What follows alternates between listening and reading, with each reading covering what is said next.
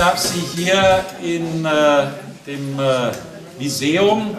in unserem Zwischenbau zum Stadt- und Industriemuseum und Eingangsbereich zum Museum ganz herzlich willkommen heißen und äh, darf diesen Willkommensgruß auch äh, namens des Fördervereins Wetzlar Stadt der Optik, Herr Professor Erbach wird nachher noch persönlich äh, sich äußern, und im Namen des Vereins Viseum Herr Niggemann wird aber selber auch nachher noch ein paar Worte sagen. Ich begrüße natürlich Mitglieder auch äh, äh, des Viseumsvereins, des Fördervereins Optik der heimischen Presse und natürlich Kinder aus unserem Kinderhort Marienheim, äh, die ja nicht weit hierher haben, aber sicher mit großem Interesse auch diese bunten Bilder verfolgen werden, die hier an der Wand aufgehängt sind.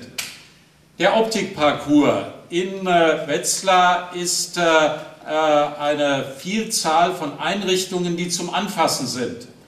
Sie müssen aber erfahren werden und ich denke, das, was an spielerischen Elementen im Bereich des Optikparcours vorhanden ist, sollte auch gerade an die Jüngsten mit herangetragen werden, die sich mit, dieser Thema, mit dem Thema Sehen, mit dem Thema Optik vielleicht ganz spielerisch auseinandersetzen. Und da war es eine sehr kreative Idee, äh, das wird Herr Erbach dann noch genauer beschreiben, von wem und äh, äh, von welcher Seite sie ausging. Herr Heil hat sich dort auch mit eingebracht, dass Herr Atzbach dann die Illustration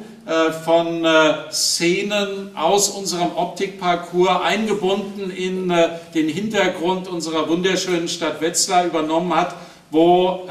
mit viel Fantasie einzelne Situationen, die, wenn man genauer hinschaut, dann über das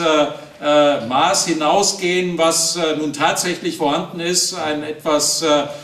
bunter und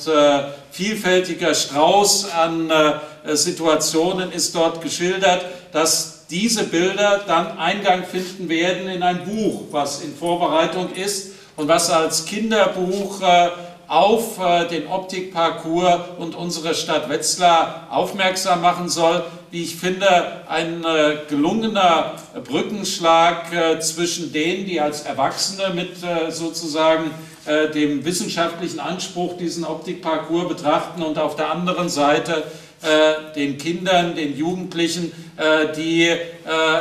das, den Erlebnischarakter des Optikparcours in noch stärkerem Maße in den Blickfeld mitnehmen wollen.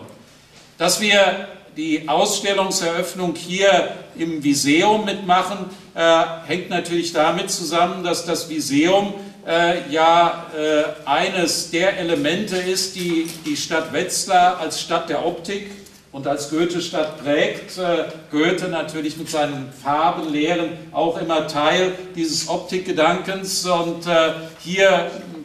bildet sich ein wunderbarer Bogen auch zur Vielfältigkeit der Farben, äh, die wir hier in diesen Bildern sehen können. Der Optikparcours ist ein Element der Kreativität und dazu gehört auch die bildende Kunst. Und äh, deshalb freut es mich, dass Herr Atzbach äh, mit seinen filigranen Zeichnungen und äh, äh seiner Ideenvielfalt das Ganze ergänzt, äh, was äh, mit technisch vielfältigen Initiativen im Rahmen des Optikparcours auf den Weg gebracht worden ist. deshalb denke ich, ist die Ausstellung